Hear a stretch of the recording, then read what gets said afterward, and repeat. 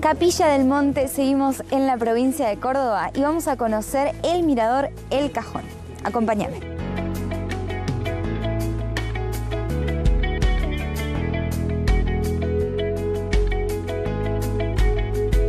¡Wow! Muy bueno.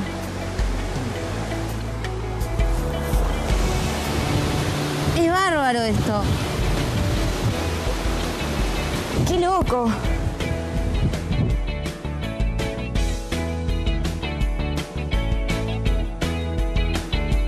Patitos. Dos.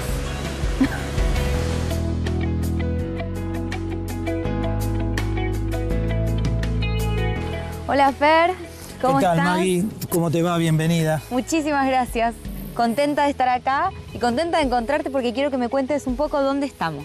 Bien, estamos en el dique El Cajón del Río de Capilla del Monte. Esto está a poquitas cuadras del centro de nuestra ciudad, Sí. muy cercano a lo que es el paseo clásico de Capilla del Monte de, de siempre, que es el famoso zapato, que es una piedra, este, digamos, este, Emblemática. emblemática Me de imagino que Capilla tiene del esa Monte forma. desde hace un par de siglos que tiene Sí. esa forma. ¿Quiere decir que entonces este dique es parte de ese paseo? Este, este dique es parte de ese paseo. ¿no? Es- este dique empezó a diseñarse en el año 1971 por parte de una comisión de vecinos de Capilla del Monte que se llama Comisión Pro Dique y finalmente se ¿Se concretó este es el embalse que se recibe del río Dolores que Bien. viene desde el sur, digamos, de la zona. Sí. ¿No? Y bueno, cuando el agua va llegando a lo que vemos allí, que es la ventana de lo que sería el vertedero, Sí. después se empieza a desbordar. Este espejo de agua de 116 hectáreas, además este, de proveer agua también a la ciudad, eh, nos provee por supuesto de un recurso turístico que fue la primera intención de, de aquellos vecinos. ¿no? Entonces Bien. se practican actualmente deportes acuáticos, Estamos además de... a alguien que está Esa- pescando. y ¿Se además puede hay pescar? se puede pescar, hay torneos de pesca habitualmente. ¿Solo pesca ¿no? deportiva o...? Pesca deportiva únicamente. O sea Pesca se lo deportiva, se- generalmente se lo devuelve, bueno, siempre. este, Siempre hay alguno que se lo come, alguien pero- se lleva algún Sí. pescadito a la casa para preparárselo. Otra característica muy especial de Capilla del Monte, además de los paseos que tiene alrededor, que son muchos, es que está entre dos diques. El dique Los Alazanes, Sí. detrás del Cerro Uritorco, Sí. y este dique El Cajón. No creo que debe ser tal vez la única ciudad de la Argentina que está entre dos diques. Bueno, muy bien. Vamos a seguir recorriendo un poco. Y vamos.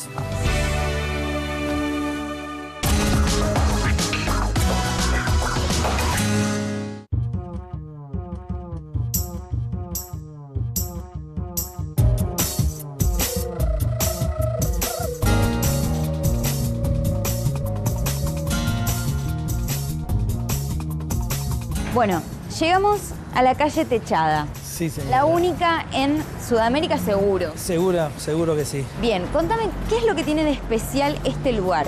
Además de tener un montón de barcitos en donde se puede comer increíble, uno por allá que tiene comida orgánica, que es donde siempre voy yo. Sí. Contame, ¿qué más puedo encontrar por acá?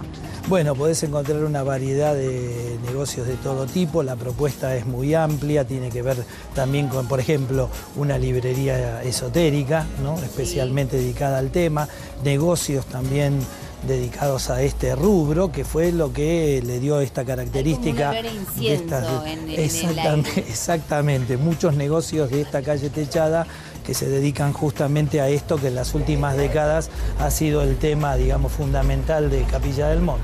Hay locales con piedras también, ¿verdad? Exactamente. Donde te explican cuáles son las propiedades de cada una. Exactamente, tal cual. Bien, y es la calle principal. Yo veo un montón de chicos, todos salen del colegio y pasan por acá, ¿verdad? Esta es la calle principal de Capilla del Monte, la calle Hay un a cine. Buenos Aires. Está el cine Enrique ¿Sigue funcionando? Claro que sí, es el único cine del Valle de Punilla que está en estos momentos ¡Qué en bien! actividad y estamos reformándolo en estos momentos, poniéndolo eh, nuevamente, digamos, en valor. Este, y aquí es donde se desarrollan no solamente el cine, sino eh, obras de teatro y además también ahora el eh, Festival de Guitarras Capilla Vibra, Bien. que lo vamos a tener en septiembre de este año. Qué bien, espectacular.